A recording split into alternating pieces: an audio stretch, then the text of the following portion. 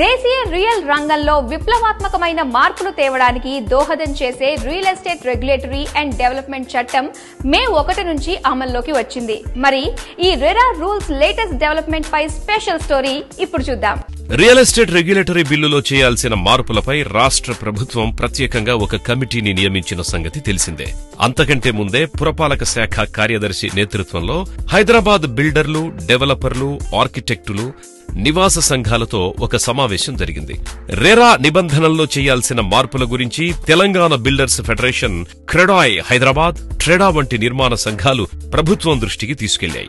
ప్రస్తుత ప్రాజెక్టులతోనే సిసలు సమస్య కాబట్టి వీటికి ఎలాగైనా పరిష్కారం చూపెట్టాలని నిర్మాణ సంఘాలు కోరాయి. కొనుగోలుదారులు కొంత ఇబ్బంది పడి మోసపోతున్నారనేటువంటి ఒక ఆలోచనతోటి దీన్ని ఒక నియంత్రణ తీసుకొని రావాలి. ఈ పర్చేదర్లని మనం ప్రొటెక్ట్ చేయగలగాలి అనే ఉద్దేశంతో తీసుకొచ్చి తీసుకొని రావాలనేటువంటి సెంట్రల్ గవర్నమెంట్ ఉద్దేశంతో అంతకుముందు కాంగ్రెస్ గవర్నమెంట్ ఈ యాక్ట్ తీసుకొని వచ్చింది. పార్లమెంట్లో పాస్ అయింది మటుకు మా బీజేపీ గవర్నమెంట్ వచ్చిన తర్వాత పార్లమెంట్లో పాస్ అయింది. బేసిక్గా మనకు ఈ నార్త్ ఇండియా సైడు ఏ విధంగా జరుగుతున్నదంటే ఈ బిల్డర్లకి పర్చేజర్లకి సంబంధాలు చాలా తక్కువ ఉన్నాయి. అది కేవలం మిడిల్ మెన్ ఎక్కువ ఉన్నారంటే సేల్స్ ఏజెంట్స్ అనేవాళ్ళు చాలామంది ఎక్కువ ఉన్నారు కాబట్టి ఆ ఏజెంట్స్ అనేవాళ్ళే ఈ మోసాల్లో ఎక్కువ వాళ్ళ పాత్ర ఎక్కువ ఉంది. సో ఒక ఫ్లాట్ ఒక రేటుకి అమ్మిన తర్వాత ఇనిషియల్గా ఉన్నప్పుడు ఒక రేటుకి అమ్ముతారు. తర్వాత ఇంకొక మా కొంత స్టేజ్కి వచ్చిన తర్వాత ఎవరైనా కొంటే అటువంటి అదే ఫ్లాట్ కూడా ఇంకో చోట అమ్మకం జరిగింది.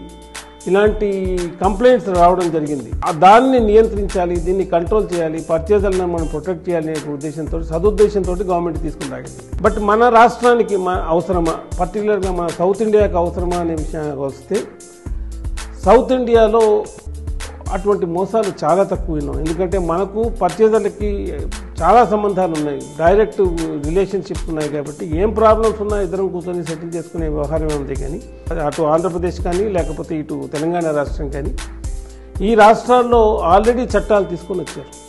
ఈ చట్టాలు ఏ విధంగా తీసుకొని వచ్చారు అంటే డీవియేషన్స్ ఏమైనా జరిగితే దానికి ఒక జీవో తీసుకొచ్చారు.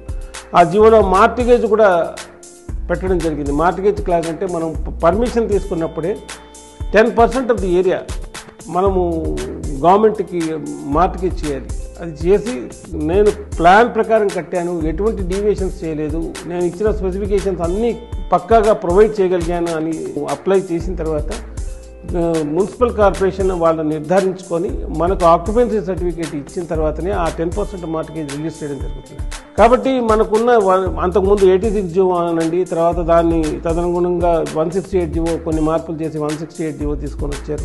వాటిలో కఠినమైన నిబంధనలు పెట్టిన తర్వాత దాదాపు కన్స్ట్రక్షన్ అనేటువంటిది డీవియేషన్స్ లేకుండా సక్రమంగా జరిగే రాష్ట్రం ఏది అంటే మన రెండు తెలుగు రాష్ట్రాలు. ఇప్పటికే ప్రాజెక్టుల్ని ప్రారంభించి ఏడాది నుంచి రెండేళ్ళు పూర్తయినవి చాలా ఉన్నాయి. బ్లాక్ల వారీగా నిర్మాణాలు చేపట్టే ట్రెండ్ మన వద్ద కొన్నేళ్ళ నుంచే ఉంది కాబట్టి ఇదివరకే పూర్తయిన వాటికి మినహాయింపునివ్వాలని ప్రభుత్వానికి విన్నవించాయి. అయితే ప్రభుత్వం నియమించిన కమిటీ ఇందుకు సంబంధించి ఒకట్రెండు సమావేశాలను జరిపిన అనంతరం రాష్ట్రంలో రెరా నిబంధనలు ఖరారు చేసే అవకాశం ఉందని తెలిసింది.